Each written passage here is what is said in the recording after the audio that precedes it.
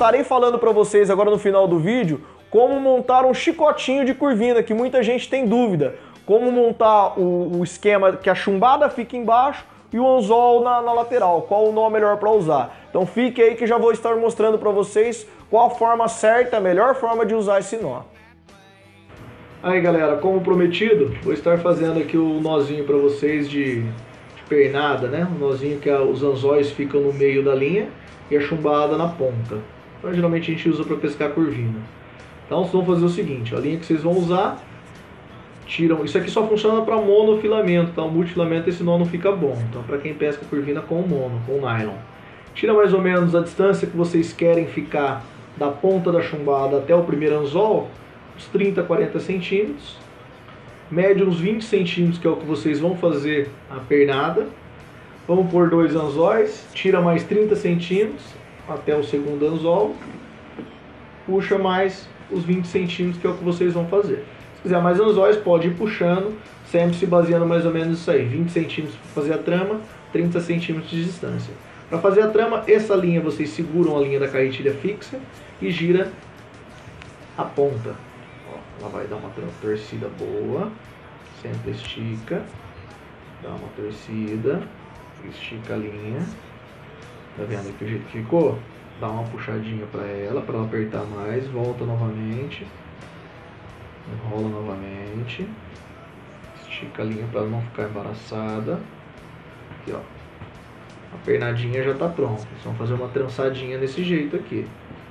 Aí a finalização do nó, vocês seguram, cruzam o meio da linha, segura as duas linhas aqui e as duas linhas na outra mão. E vocês enrolam o meio, ó. Uma, duas, três, quatro, cinco, seis, ó deixando enrolado aqui deixando enrolado aqui. Vem com a, a pernada pronta, passa no meio das laçadas. Aí se figuram com a boca aqui e puxa bem retinho, nunca curvando para chegar ao nó. Dá uma molhada, aperta bem, colocar o próximo, próximo anzol, a distância dos 30 centímetros, volta para cá, mesma coisa. Faz a trançada da linha, trançou, puxa, volta pro lugar, trança de novo, puxou, voltou pro lugar. Ó. É um tamanho legal. Pode usar até menor que isso aqui se vocês quiserem. Dobra o meio da linha, ó, cruzam as duas linhas, na verdade, vocês vão rolar o meio. Uma, duas, três, quatro, cinco, seis voltinhas. Vem com a pernada, passa dentro, segura com a boca, puxa reto. Deu uma olhadinha, apertou, tá pronto. Na ponta, coloca uma chumbada no tamanho que quiser. Passa a chumbadinha aqui. O nó da chumbada que eu uso é esse aqui, ó. Segura a linha aqui, é um nó único.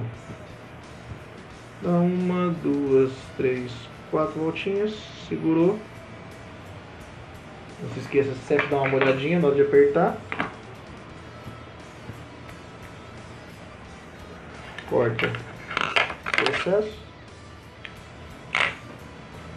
Para passarem os anzóis aqui, pode optar por qual anzol quiser, pelo wide gap ou pelo anzol convencional.